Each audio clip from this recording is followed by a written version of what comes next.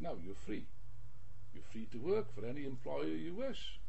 Theoretically, not theoretically anyway. You can work or not work. That is to say, you can you can eat or starve. That's to say, you're free to do that. The Slave wasn't free to do that. Neither was the serf. You're free, in inverted commas, to work for any boss that you want if you can find a boss that will take you on for a suitable uh, wage and so on. In other words, the first condition of capitalism is the existence of a free working class. How was this achieved? It was achieved by the most brutal means imaginable. It was achieved, for example, in Scotland by, by, by, by emptying the highlands. You know, the, the highlands now of Scotland, they're empty. If you go, it's very nice for tourists. But there was a time when the, the, that, area was populated by, by people. You see now in the Scotland, dotted around the highlands, you'll find empty villages who were brutally uh, evicted with, with great brutality evicted on lands which they considered to be their own lands, forced to emigrate to America in many cases or Canada, turned out and then the lands were turned over for sheep farming or even just hunting, just hunting for the idle rich aristocrats. The common lands, people were evicted from the lands which they always had. In, in other words, you had the creation of, of a so-called free working class now, the real development of capitalism, however, begins, this process began already in the late Middle Ages. Rural capitalism begins in the late, late, late Middle Ages. There were other factors, like the, the, the, Black Death played a big role. The Black Death, in which, uh, in, in the 14th century, which killed half the population of Europe and half the population of Britain. This meant that, that, that there were so few people left that the landowners couldn't control them. They couldn't control wages. The workers began to go on strike and demand higher wages, you know. The first example of uh, wage restraint policy, Harry, was in the 14th century. Did you know that? It's called the, the Statute of Labourers, where they tried to fix wages and prices and so on in a period of rising class struggle.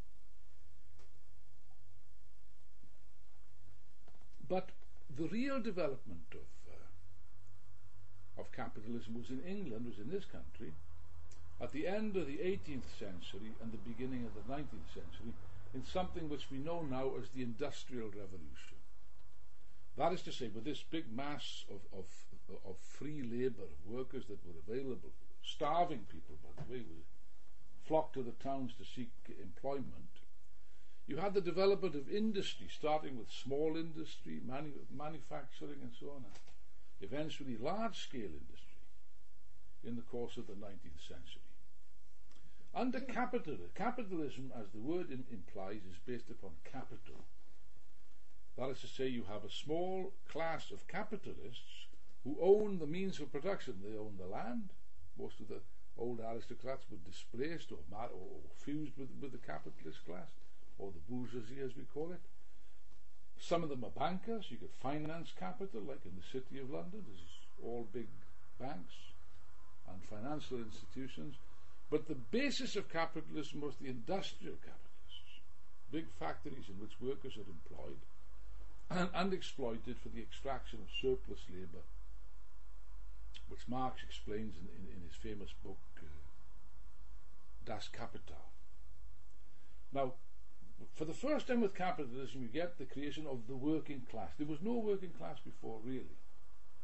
There was the, perhaps the embryo of a working class in the Middle Ages with the artisans and craftsmen and so on, but the real working class is born under capitalism. Now, the importance of capitalism is this. Capitalism, by the way, is a very brutal system. You might say that slavery seems to be very brutal to us, and Feudalism also seems very brutal to us, but the most brutal system of all is capitalism. Marx, in Capital, says this he says that capital uh, came on the face of the earth, was born dripping blood from every pore.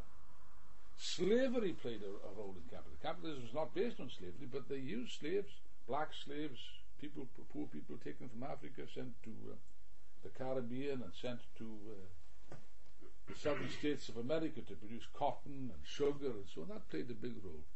Cities like Liverpool uh, were founded on, on slavery and so on. But capitalism is not based on slavery, it's based on wage slavery. On the, you're supposed to be free under, uh, under capitalism. The importance of us to, to us of this is, is as follows. First of all, we welcome the development of capitalism. We, say, we, we will say capitalism played a very revolutionary role. Why do I say this? Well, if you go back to our clock, human history, class societies only existed for about the last three minutes. Uh, capitalism has only existed for the last 200 years.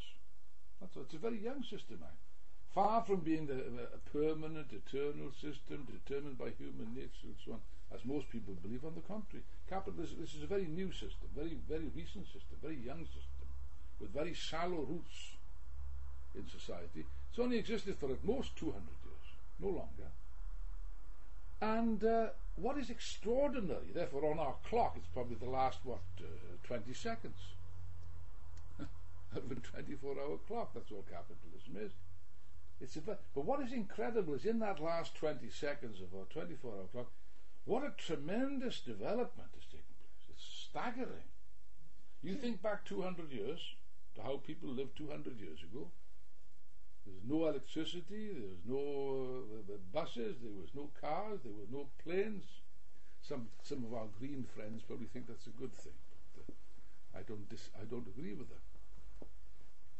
Uh, people lived in, in, in, a state of, uh, of semi barbarism 200 years ago. What a transformation! The whole world has been transformed. There's been a staggering development of agriculture, of industry, of technology. Compute, now we have computers, the internet, space travel. We've put a man on the moon. It's extra. And what capitalism shows us is the enormous potential that exists in our hands.